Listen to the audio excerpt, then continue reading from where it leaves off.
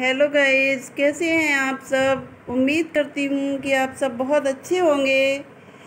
तो देखिए, आज मैंने आपके लिए भरवा बैगन बनाए हैं। कैसे सुंदर दिख रहे हैं? देखिए, कितने स्वादिष्ट लग रहे हैं।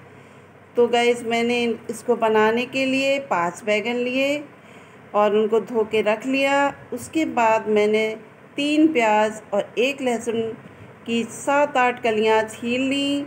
अदरक का पेस्ट ले लिया और उसमें हल्दी, धनिया, मिर्च, नमक जीरा, मेथी, ये सब कुछ डाल के अपना मसाला तैयार करके बैगन को चाकू से लंबा लंबा काट के उसमें सारा मसाला भर दिया।